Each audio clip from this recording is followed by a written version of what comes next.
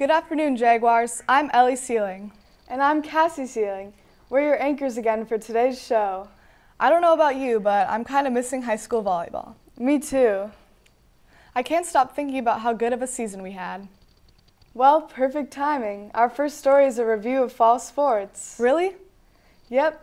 Let's have Alexis Alfaro tell us more with a story on fall sports. I am currently outside the Jefferson High School turf where this fall two major fall activities took place. With winter sports right around the corner, it got me wondering, how did the fall sports season pan out? What can we learn from it? And what are their opinions? I asked three major fall sports players their opinions on the fall sports season. To start off, I asked the players, how did the season go? I played varsity soccer for Jefferson this year, and this season was way different for us. This season we had zero COVID cases, which is good, but we didn't win a lot of games. Um, we ended up going 13 and 1, and it was a very overall effective season for all of us.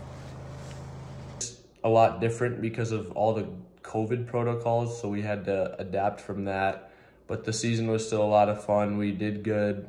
We played less games because of COVID. We only played six games, but it was still a lot of fun.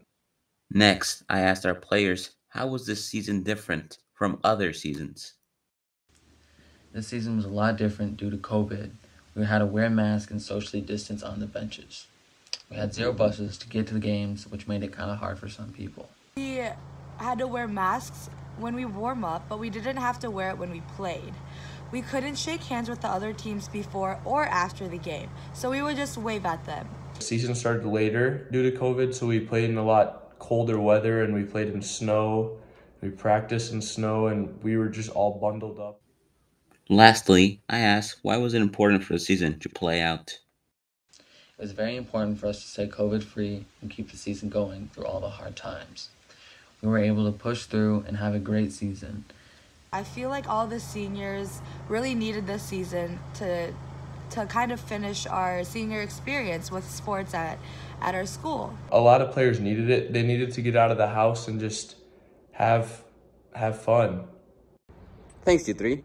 Remember to wear a mask so fall sports can play, take place next season, so winter sports can take place as well. This has been Alexis Alfaro reporting for Jaguar Spots. Fall sports are so lucky they got to have a season. Yeah, even though their seasons were a little different this year, the players made the most of it. There were many precautions taken to make sure the athletes stayed healthy. Those same precautions are being used in winter sports as well. Let's find out how Hyland is handling this pandemic from Saul Gaska.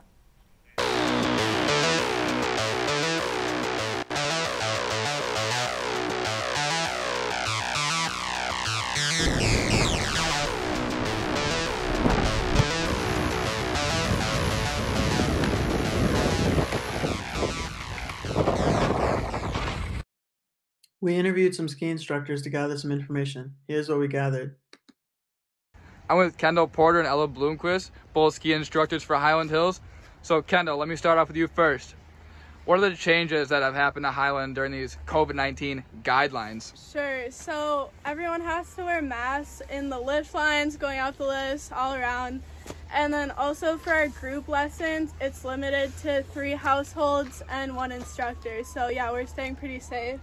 Very nice. Ella, are there more or less people coming to Hyland now due to COVID? Um, I would say there's more people now because it's something to do and everyone just wants to get outside. Awesome. Now, both of you, do you guys like working at Hyland? Yes, it's super fun. Super fun. Hyland Hills will be closing around early March, so be sure to get out there and enjoy some fresh air while you can. This has been Saul Gasker reporting for Jag Spots. Thank you. Wow, that's great that Hyland is open even during the pandemic. Yeah, I'm glad the ski instructors are being leaders and helping everyone stay safe. You know who else is a leader? Juma Waganda. She's our student shout out this week. Let's hear more about her from Kristen Kirschner with a student shout out on Juma Waganda.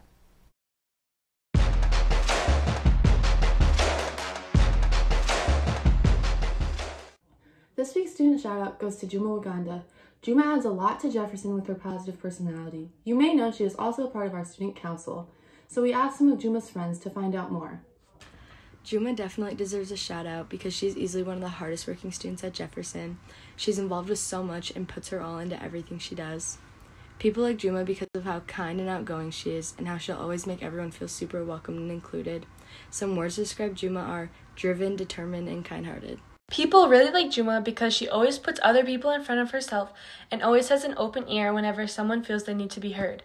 Juma is considerate, outgoing, and creative. I think Juma deserves a student shout out because she has been an amazing leader throughout this pandemic, especially in student council. I think Juma deserves a student shout out because she is a leader outside and inside of school. She supports various movements like the Black Lives Matters movement. Um, she, I know she helped organize peaceful protests for that, but she just makes Bloomington um, a better community and place to live in.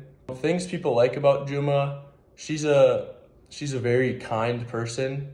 I can't say I recall her ever like ever seeing her be mean or do anything that I wouldn't say like, oh, that's a great person. Like she's honestly just an all around great person.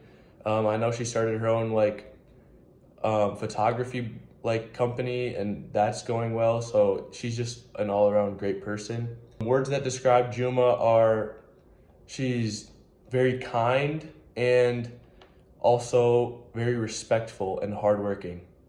Thanks for being such a positive example, Juma. This has been Kristen Kirshner reporting for Jaguar Spots. Thanks, Kristen. You know, they should make a National Juma Day. I agree, but it does seem like there's a national day for everything. Do you know what tomorrow is? What? National Dress Up Your Pet Day. No way, really? I'm so excited to see all the pet costumes. Me too. Stay tuned for the credits if you need some ideas for your pet's costume. This has been Cassie Sieling and Ellie Sieling for Jaguar Spots. See, See you next time, Jags.